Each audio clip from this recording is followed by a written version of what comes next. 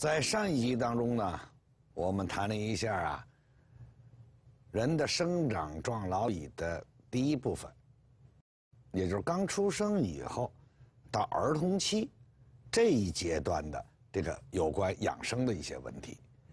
那么今天呢，我们开始谈一谈呢，它的第二阶段，也就是说长这个阶段。换句话说，也就是我们青年人的这种养生的有关问题。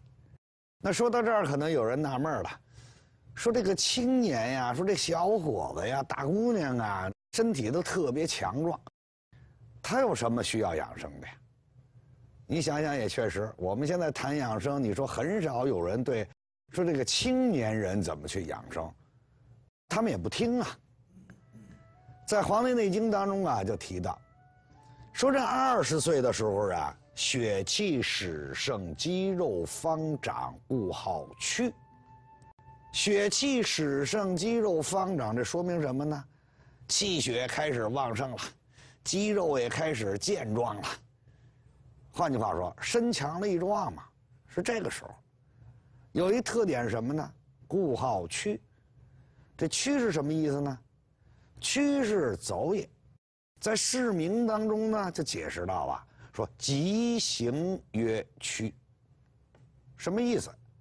也就是说，我们走，快走叫做趋。所以你看啊，这个青年人呀，他的特点就告诉你了，一方面说明什么呀？就是气血比较旺盛，脏腑呢功能也开始逐渐的。健全了，所以在《黄帝内经》当中就说呀，说三十岁的时候啊，这个时候五脏大定，肌肉坚固，血脉盛满，这是二三十岁的一个表现，气血也旺盛了，脏腑功能也健全了。另外一个特点就是用这个躯来表示的。小孩的时候啊，我说像脚上踩着风火轮。怎么样呢？各处都是奔跑，那青年人呢，就不是奔跑了，但是也快成了健步如飞了，是这样，行动比较快，比较迅速。其实正是因为这个特点，我们有时候说呀，说你看那个小伙子都怎么样呢？风风火火，是这么一种状态了。当然了，这是好的一方面。那你说他的另外一面呢？风风火火是不是就说他不稳重啊？他有点不太稳重。那么为什么不太稳重呢？还是说他对这个事物的理解呀、判断呀，是不是特别全面吗？可能就不是特别全面了，有的时候就有些片面。那么我们先看这第一大特点啊，说他的这么。气血旺盛，身体也壮实，所以那些小伙子什么呀就不知道累，干点活啊没有什么疲劳的一种感觉。那么在这种生理状态下，如果一不小心他生病了，当然他得病也不太多呀，但是不小心生病了，那你看啊，本身气血旺盛，脏腑充实，又得病了，那这是什么病啊？按中医来判断，大部分都是实症。所谓实症是什么呀？是正气不虚，邪气旺盛，两个怎么样呢？在身体内进行抗争，这就成为一种什么呀？成为一种实症。正是由于这种正和邪抗争有力，所以表现出来的症状比较的严重嘛。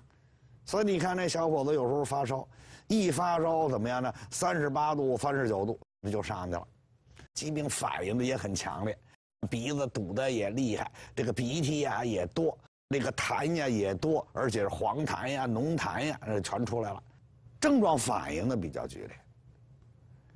所以治疗这一部分人的疾病，也大部分用什么呀？用泻实的方法，给邪气以。出路，让它出去。说有表病的汗而发之嘛，其在下的饮而竭之嘛。该通便的通便，该发汗的发汗，该通血脉的我们去通血脉。说到这儿呢，有的时候啊，我觉得也挺有意思。你看看啊，说这个老年人就又不一样了。老年人是正气不足了，所以他得病啊，有的时候症状啊不是那么特别的明显。所以你看，有时候老人发烧，很多都是一种什么呢？低烧，三十七度多，三十八度以上上的都少，三十九度以上怎么样呢？更少。有时候我们说他有点什么呀？烧不起来了。那烧不起来什么意思呀？就正气没有那么强大，它跟邪气的这抗争啊不是那么有力，所以症状并不是特别的明显。因此，有时候我们也说啊，你不要光从这个症状啊表现的是不是特别明显来去判断这个病是不是特别严重。什么叫严重啊？严重是正气怎么样呢？打虚了，邪气非常旺盛了，叫什么呀？叫做正虚邪实，这才成为疾病的严重阶段呢。那么说到这儿，我们有时候就说呀。正是因为小伙子有这样的特点，所以他没有那么多虚症。那么反而呢，在门诊上，包括我做门诊啊，有的时候这小伙子来了，胳膊一伸，说的大夫，你帮我看看我哪里虚，你是不是帮我开一点什么药补一补？我在这里告诉大家，青年人一般得病都是实症，不是什么虚症，也有这样的。新婚夫妇刚结婚，过来了，到这儿来了，调养调养，调养是可以。但他说什么呢？说你看是不是给我们俩吃点什么补品呀？我们补补自己的身体。我说这个时候不用补。青年人最好的补药，就是一个什么呢？按照规律，尤其按照你的作息规律、饮食规律去做。就可以了。遵循规律就是最好的补药，因为你身体并不是真正的虚，所以这一点我请我们的青年人要给予特别的关注，特别的注意。如果你真吃些补品了，那可能呢出现问题了，可能吃了点参啊、脐啊这一类的东西，可能发现什么呢？发现鼻子窜血了，发现长口疮了，这是什么呀？这就是上火了，所以尽量少吃补药。那么也正是由于他的气血旺盛啊，身体壮实啊，所以小伙子们呀，他精力旺盛，他不感觉到疲劳，他不感觉到累。所以正是因为这样，他对自己的身体呢，怎么样也不爱护了。